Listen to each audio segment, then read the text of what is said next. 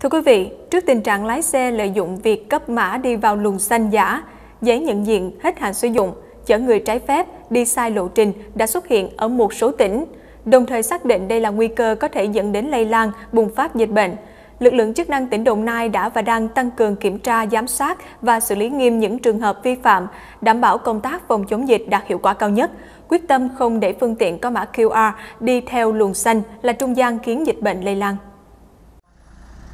Hệ thống gấp luồng xanh đã được Bộ Giao thông Vận tải cấp phép hoạt động từ ngày 19 tháng 7.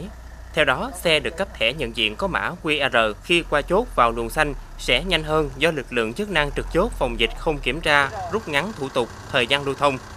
Chỉ mất chưa đầy một phút để kiểm tra, anh Nguyễn Quang Vinh đã được đi qua chốt kiểm soát dịch bệnh COVID-19 do bản thân anh có giấy xét nghiệm âm tính với COVID-19 và phương tiện có mã QR đi theo luồng xanh. Chị em ờ, đi ờ, chở cái mấy cái hàng gỗ mà bên uống công anh. Rồi ờ, em giấy tờ thì em có cái giấy tờ luồng xanh đó, với lại em giấy test Covid đó.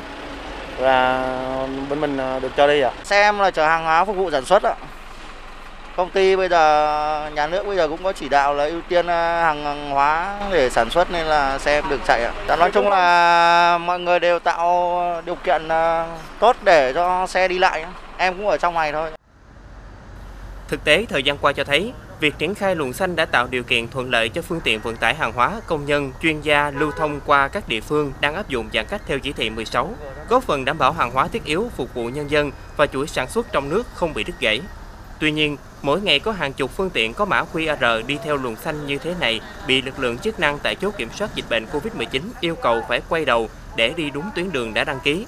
Những sai phạm của đội ngũ tài xế luồng xanh bị phát hiện trong thời gian qua đã làm dấy lên những lo ngại bởi nó tiềm ẩn nguy cơ lây lan dịch bệnh ra cộng đồng, vi phạm pháp luật kéo theo hệ lụy khôn lường. Hướng dẫn họ đi ờ, theo những cái đúng theo cái tuyến họ đăng ký trên luồng xanh của ờ, họ thôi. Thì mời quay đầu lại chứ còn đây trong vùng này thì hiện tại là tình hình nó đang phức tạp nên cũng không có thể nào mà cho qua được. Mình kiểm tra xe, kiểm tra thùng xe, coi chứa đúng hàng người ta ấy không rồi à, để đối với những xe mình nghi ngờ thôi. Dù trên địa bàn tỉnh Đồng Nai chưa xuất hiện tình trạng lái xe sử dụng giấy nhận diện phương tiện có mã QR giả, được phép chở hàng hóa nhưng lén lút chở người. Tuy nhiên, việc tăng cường kiểm tra, giám sát và xử lý đối với các phương tiện có mã QR đi theo luồng xanh vi phạm là rất cần phải thực hiện để hạn chế tối đa các phương tiện có mã QR đi theo luồng xanh có thể là trung gian làm lây lan dịch bệnh.